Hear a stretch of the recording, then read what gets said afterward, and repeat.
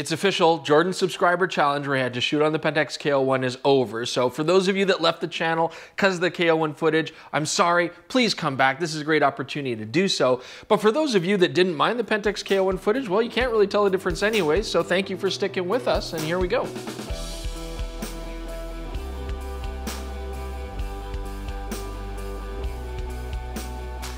Welcome back DPReview TV viewers, it's Chris Nichols here, and I've got a Canon EOS R5 and R6 with me because these have become incredibly popular. And so what I thought is if you're picking up one of these cameras, why not tell you what Jordan and I like to do as far as menu settings go? Give you a little intro to how we set up these cameras, so let's get to it. Now the first thing that we're gonna start with is you gotta make sure you have an EOS R5 or R6 in your hands. This is an EOS R5.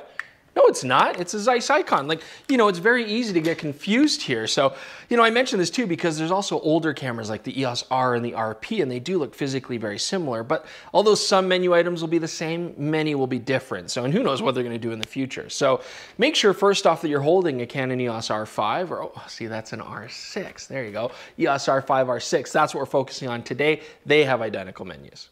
Now, number two, let's talk about image quality. And it really does largely come down to how many photos you're gonna be able to put on a memory card. Now, when I test a camera, I do JPEG plus RAW so I can show you guys both files, but you already know which workflow you're gonna go with. So what I do really wanna point out is C-RAW is a new feature on here. A lot of cameras out there have a compressed RAW format. Now, these are no different. The compressed C-RAW gives you more photos per memory card, about 40% more. It's pretty significant. What's the downside? Well, C-RAW, you're not able to push shadows as heavily. You're gonna get more noise, but the image quality is still very excellent. You got a lot of pushability there. So really it's gonna come down to storage space. Do you really need more photos? Go C-RAW. If you've got lots of storage space, go RAW and you'll be able to push those files even further.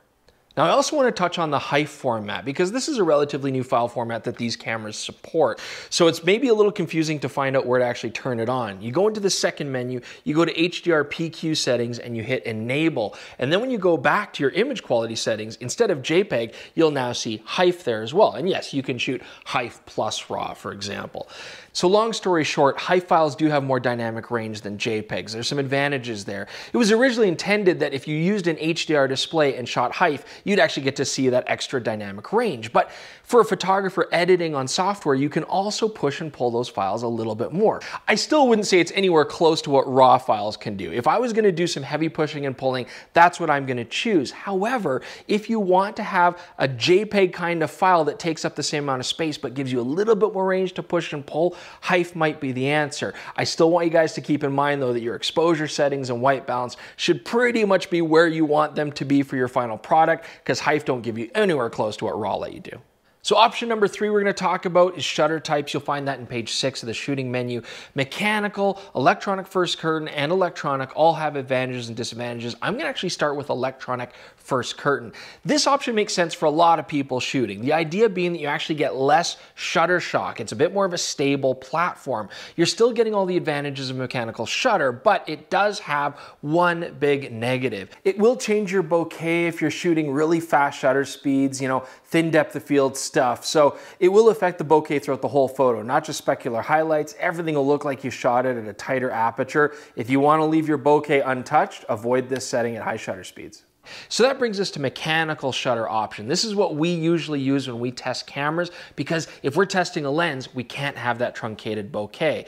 Now, the advantage is it works great. You do have a mechanical shutter speed maximum limit to how fast you can shoot, but on these cameras, it is still quite fast. The disadvantage, you will get a little bit more shutter shock when you're shooting, and that could cause some motion blur, especially at slower shutter speeds. Now, the third option we're gonna talk about is electronic shutter. Now, this doesn't have truncated bokeh, it is a very stable platform to shoot from, and it actually does let you shoot up to 20 frames per second. So you would think it makes sense for a lot of sports and wildlife. It's also a silent shooting mode, which is nice. However, there are some disadvantages here as well. Now, first off, if you're doing any sort of panning with the camera, especially with telephotos, like say following an eagle in flight across trees or something, you'll get any verticals in the shot actually going diagonal. That can be really annoying. It's not terrible on these cameras, but it is noticeable, so keep that in mind. Another issue, if you're shooting under artificial lighting like LEDs or fluorescence in a gymnasium, you'll often get banding and it looks terrible. Now, if you're shooting mechanical shutter or electronic first curtain, you can still get flicker under those lights where you're gonna get different exposures from shot to shot, but you can turn on an anti-flicker mode for those two shutter types. You cannot use it for electronic shutter. The last thing I want to talk about for photography is the autofocus settings here. Now, first off, I want to mention tracking autofocus has become so effective now that it can often replace almost all of your other settings. Now, you do have a lot of the other classic modes, you know, single point, wide area, expandable, but the fact of the matter is tracking on the Canon is absolutely fantastic when you set it up properly. So let's get to that. Now you can either focus with your front shutter button or the back button AF-ON like I like to use, either one works. But when you use face tracking in one-shot autofocus mode, it will basically just engage the eye and face detect features. Where this mode really comes alive though is when you use servo autofocus because now I can track on a subject and wherever it moves in the frame, it will follow it even if it comes towards me or away from me and that is very powerful.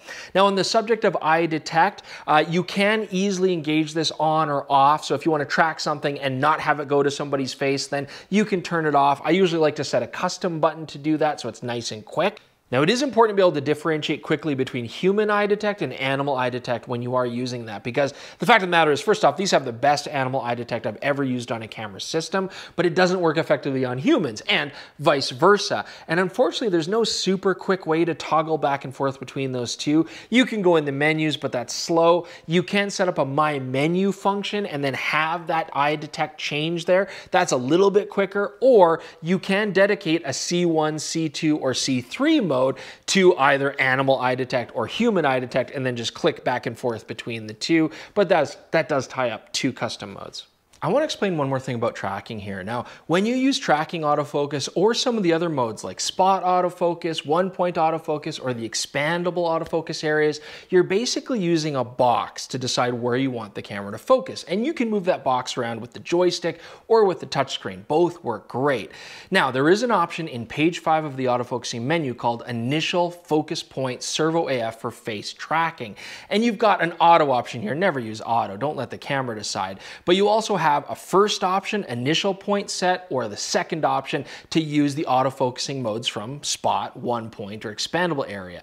This is basically how it works. I'll give you an example. If I'm in one point autofocus mode, for example, I focus on Jordan's face, then I move the box over to the far right and focus on his face there. If I then switch to tracking autofocus, with the second option in the menu, it stays at that same position, the far right. Now, if I go and change this to the initial point, the first option, which I prefer, if I'm using something again like one point autofocus and I move the box over to the extreme right, if I then go to tracking, it doesn't start there. It has its own unlinked starting point. So it basically just means, are those focusing boxes linked for all those focusing modes or does focus tracking have its own box position that it remembers separate from the others? Now the last thing I want to talk about is your autofocusing case modes. It's page three and they give you a pretty good description of all of them. Case mode one is versatile and does work for a lot of situations, but we did find with testing that if you want to get the maximum hit rate, it really does pay to set the right case mode for the situation and then you'll get the highest success rate. And now, for a brief intermission before we jump over to Jordan for the video settings, let's do this. If your name starts with L, let's click that subscribe button right now. I see Lorraine out there. Thank you for clicking. Lisa, uh, thank you. Larry, oh, you clicked it. Thank you very much. Ludwig, Ludwig, you haven't clicked yet. I'll wait. Ludwig, I see you out there. Okay, thank you, Ludwig. You've clicked that as well. We really appreciate it. Let's go to Jordan. All right, let's talk about video settings on these. And I'm gonna start with two that are really easy to miss that are shared on both of these cameras. So let's jump on to autofocus page three when we're in movie mode. And we've got a couple options right at the top. We have movie servo AF speed, and this is how fast the lens motors will actually move. So I want it very fast and responsive if I'm gonna have someone moving towards camera, something like that.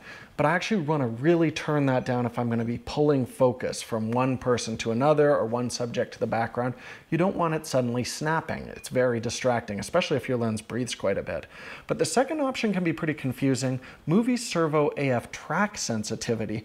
That's how fast, if you have your focus point on a subject and say they move out of that focus area, how long it's going to wait before it jumps to a new subject. And that can be incredibly distracting. So the vast majority of the time, I just have this set to locked on. It's always going to be trying to track that initial focus point unless you tap on a new subject.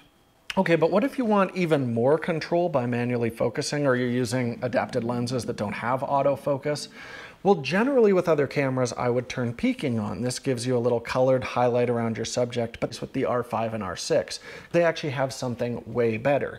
They have their focus assist mode. You put that box on the subject that you're looking to focus on, and you can actually see how far out the focus is.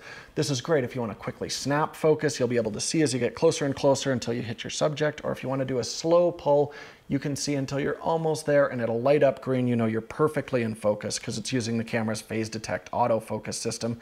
It's an amazing aid and people should really take advantage of it. One interesting thing about the R5 and R6 is they both offer 10-bit recording. However, accessing that actually depends on which color profile you use. So if you're using any of the standard modes, it's just an 8-bit camera. To unlock the 10-bit recording on these guys, you're gonna have to go to either C-Log or the HDR PQ modes on it. Now, there is one real advantage if you stick with the standard profiles though. The 8-bit recording is a lot easier on your computer than it is when you're using that 10-bit H.265 compression that we see in both C-Log and HDR PQ. The last tip I have is unfortunately specific to the R5. Hopefully they can address that in firmware. But a lot of the time I'm flipping through frame rates and I want to do it quickly. I want to quickly jump over and shoot some slow motion. So what I really like with the R5 is I have a video custom menu. So I like to set mode 1 to 24 frames per second, mode 2 to 60 frames per second, and mode 3 to 120 frames per second in 4K. What's great is it'll also remember the shutter speed that you've selected. So I can set it to 50th at 24, 125th at 60 frames per second, and a 250th when I jump over to 4K 120. Unfortunately, that's not available in the R6. So to quickly cycle through frame rates, I do like using the quick menu for that. But remember, whenever you change that frame rate, you gotta remember in your back of your head, oh yeah, I also have to adjust my shutter speed to compensate. Hopefully Canon fixes that.